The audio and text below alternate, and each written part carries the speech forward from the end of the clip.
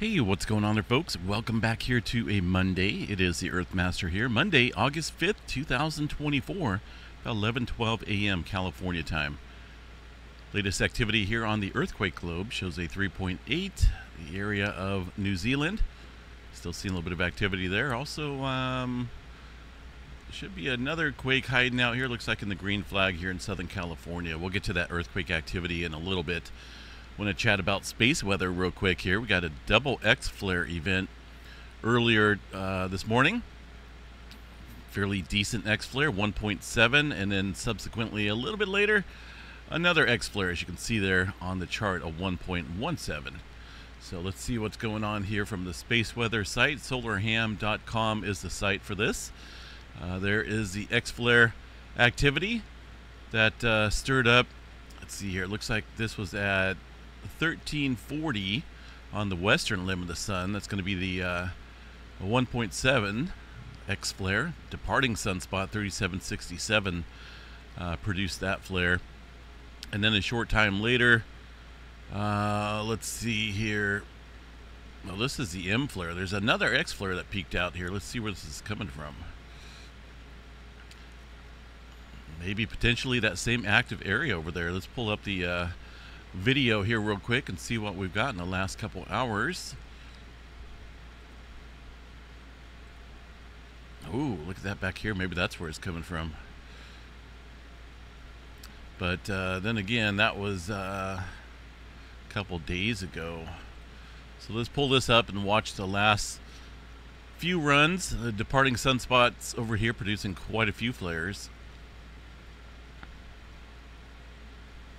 Also back over here. So let's see what we got here. Well, that kind of jumped real quick there. So a couple different areas that look like of some interest out here in terms of flaring. But uh, as you can see here, we've had a, a double X flare event.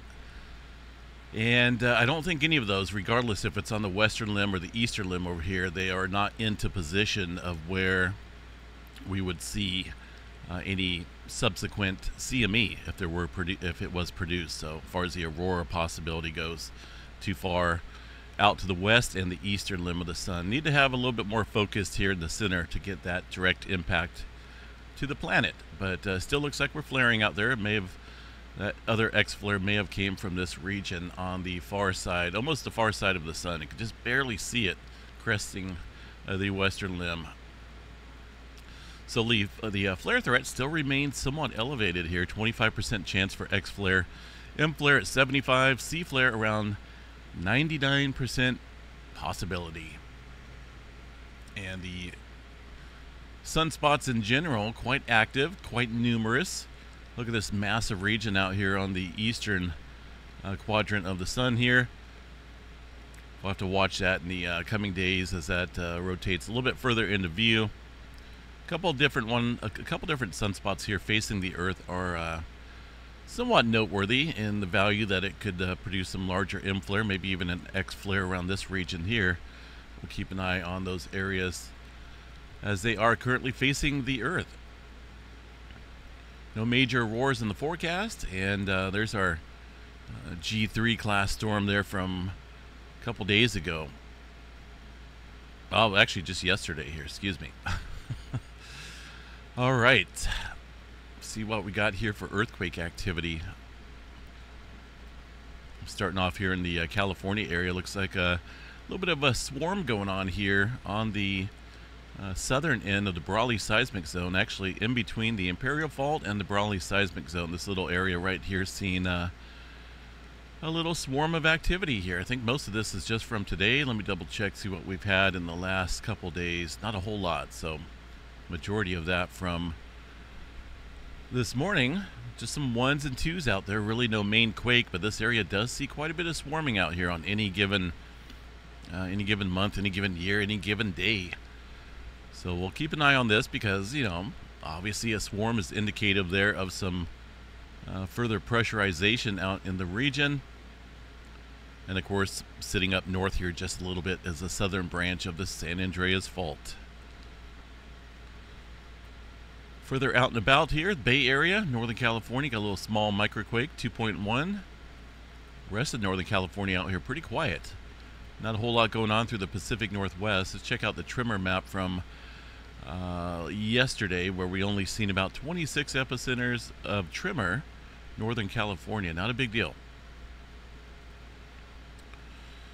Uh, further out and about here, across Idaho, a couple quakes there from yesterday, including that 3.2 just off the, uh, the uh, Sawtooth Fault System. Yellowstone National Park, nothing showing up there on the USGS map for now. A couple smaller quakes out in Texas and Oklahoma, and uh, New Madrid seismic zone looks pretty quiet. A little 2.5 out around the Great Smoky Mountains. All right, world view. Well, let's see here. What we've got off the coast. This is from yesterday here. I didn't get a chance to cover this last night, but uh, that's at the extreme northern end here of the Hikurangi subduction zone, literally just prior to it. This area, of course, has been seeing a lot of deeper activity underneath the North Island area, uh, indicative of subduction zone quakes. And this here is the major subduction zone. And that little earthquake uh, popping off just prior to the uh, subduction of the plate Got to keep an eye on the uh, New Zealand area for sure. Again, looks like there's another 3.8 stirring up down there. Uh, typical clustering going on around the Philippines, southward, Indonesia area. A uh, little bit of larger movement here along the Java Trench. Let's go see what we got. 5.1 coming in earlier this morning A couple quakes here prior to that. A lot of times we'll watch this uh, displacement of pressure travel up this plate boundary. Literally, you can watch it day by day. Looks like that may be taking place out here uh, with the current activity. So keep an eye on the northward progression of that uh, movement. A little earthquake out in the uh, mid Indian Ridge. We're just north of there. Carlsberg Ridge from yesterday, 5.1. Nothing else coming in there today. See what else we got across the area. A whole bunch of movement there from uh, looks like late last night, early this morning, up in the uh, northern area of the globe, down south as well. Uh, let's go check out Hawaii real quick, see if anything has changed out here in terms of the volcano activity. Which uh, there's a there's a few earthquakes. Got got about 17 earthquakes up here on the map. Not a big deal. Uh, we'll check out the latest information here on this volcano there, Kilauea Volcano.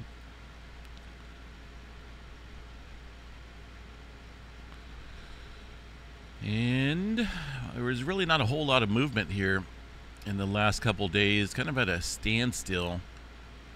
There is some earthquake activity obviously showing up on this seismograph station there. Let me bring this up here. Make this a little bit bigger, work a little bit better. Past 12 hours, there we go. A lot of spikes on this one, so there's definitely some more earthquake activity than, that, than what's showing up on the map. A bunch of smaller spikes out there, so still got the pressurization going on here. Uh, nothing new on the tilt meter, I don't think. Let me double check. Holding fairly steady in terms of tilt across this area. Uh, the summit area, see what we got here. Still going up a little bit, as noticed on the weekly chart and also the month. Not quite to the level seen back in uh, the end of July, where we've seen all that displacement of magma off to the upper east rift zone, but uh, it's continuing to go up here. Quick glance here at Iceland, where we're seeing a whole bunch of earthquake activity down around the Katla volcano as well. Uh, actually, it looks like that's just to the west here. So overall, the rift zone seen quite a bit of earthquake activity. Also down here across the uh, Sivart area, the Blue Lagoon area, power plant region. A handful of smaller quakes. Not a whole bunch of swarming yet, but I'm noticing you know, that wide distribution here of earthquakes across various areas. And it's not only Iceland, we got that further movement up north as well. So that could uh, intensify the potential out here for another eruption. This whole area, of course, is uh, inflated with a lot of uh, volume of magma uh, subsurface area, and uh, it's up to that previous level that we've seen uh, prior to, prior to the last eruption here a couple months back. Let's see if we got any new updates. Uh, this one was put out a couple days ago, so they just chatted about the increased probability of a, another eruption here in the coming days. Um, again, earthquake activity is going to be the key to watching that. Right now, specifically in that area, there's not a whole lot here, but regionally as a whole, it's increasing. So keep an eye there on the Svartsengi area for some further large scale movement. And once that takes place there, as far as, far as the uh, uptick in earthquake activity, then, then we're going to talk about an eruption there pretty soon. Question is where? All right, uh, let's check out the latest information here on uh, Debby, Tropical Storm Debby, which uh, looks like we're at about 70 mile per hour sustained winds. Um, moving off to the north northeast at about 8 miles per hour. Let me check out the uh, a different model here real quick. Stand by for a second. There's Debby. I believe it did reach hurricane status there for a short period yesterday or late last night.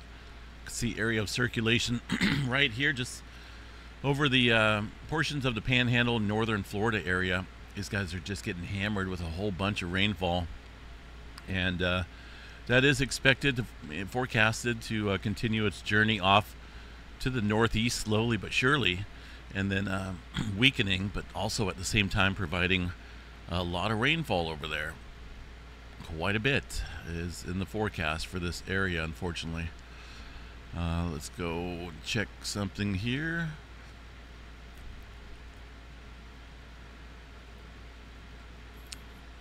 Current rainfall. These guys are just getting started here with the rain. That's going to continue to uh, accumulate. Rain accumulation here. Let me show you guys next three days. Technically, we need to watch the next five days because this tropical system is going to uh, do a number of different things. It could continue off to the northeast, or it could hover around this area for a little bit and uh, create more of a headache locally for these folks down in the uh, South Carolina area. We're looking at, uh, you know, quite a bit of rainfall that's being forecasted here. That's 18 inches. Some of the other uh, NOAA weather models are showing up to 20 and maybe even locally 30 inches of rainfall across this area. So, no joke. This is a big time rainmaker and uh, a headache for a lot of folks out there having to deal with uh, some flooding here in the uh, near term. Out west, California, another day of 100 degree temperatures out here. No rain in the forecast here at all. Hopefully, uh, we get some cool down uh, weather here soon. All right, seismograph stations, uh, pretty quiet. One little spike there on Petrolia, Northern California, but aside from that, things look uh, pretty quiet across the board in terms of current activity. We'll continue to keep an eye here on the west coast. It is starting to look like a little bit more activity lighting up out here. Got swarms down south, um, and there's been a little bit more earthquake activity in the Baja California area. Look at that, couple threes see threes and twos in there, a little swarming going on south uh, within this area here. USGS showing one of them, a little 2.8, but there's more activity. And that uh, further activity down south here is a good indicator of overall, overall regional stress out here in the region. So keep an eye on the California area today. We'll be back a little bit later on, folks, with the uh, a daily update a little bit later on this evening, unless something major happens. So enjoy your day, and um, a lot of craziness going on in the world. We'll catch you guys later.